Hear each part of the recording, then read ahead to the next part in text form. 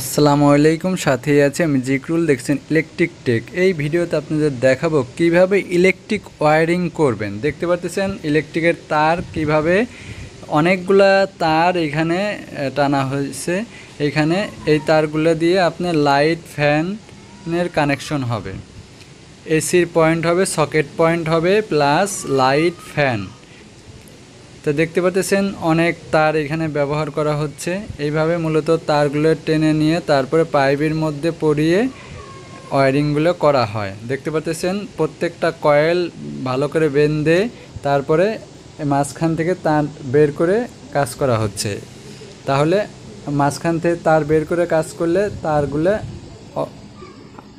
মানে আওলাবে না। দেখতে পাচ্ছেন, এইখানে টাইলস কেটে ফ্লোর দিয়ে পাইপ নিয়ে যাওয়া হয়েছে। এই, এগুলো হচ্ছিল নেটের কেবল প্লাস এখানে সকেট পয়েন্ট হবে, কম্পিউটার চলবে। দেখেন, টেবিলের নিচ দিয়ে পাইপ দিয়ে এইভাবে ওয়্যারিং করা হয়েছে। মূলত এইভাবে ফ্লোর দিয়ে টেবিলের নিচ দিয়ে পাইপ যদি দেওয়া হয়, সেই ক্ষেত্রে আপনার দেখা যাবে না কোন জায়গা দিয়ে ওয়্যারিং করা হয়েছে। টেবিল মাঝখানে বসাইলে আপনার কোনোখান থেকে তার দিয়ে কানেকশন দেওয়া লাগবে না। দেখতে পাচ্ছেন ফ্লোরের নিচ দিয়েই পাইপগুলো থাকবে। তাহলে দেখতে সুন্দর দেখা যাবে। যেহেতু আমার টেবিল মাঝখানে থাকবে, দুই পাশে লোকজন বসবে, এর জন্য ওইভাবে এই ইলেকট্রিকের ওয়ারিং করা হয়েছে।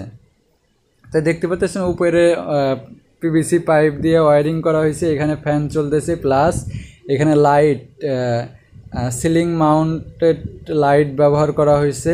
আর এখানে দেখতে পাচ্ছেন কেবলগুলো টানা হচ্ছে কীভাবে পাইপের মধ্যে দিয়ে।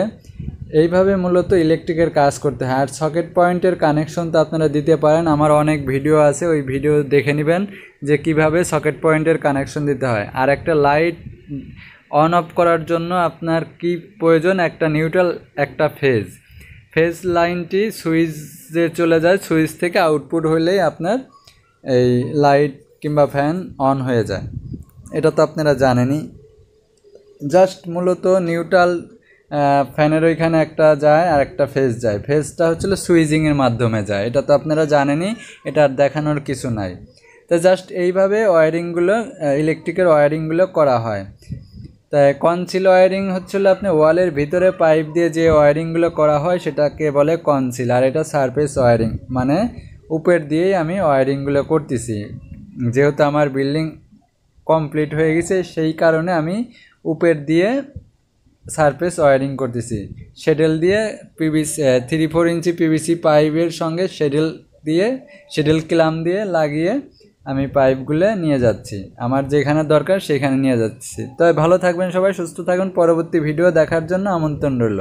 আল্লাহ হাফেজ।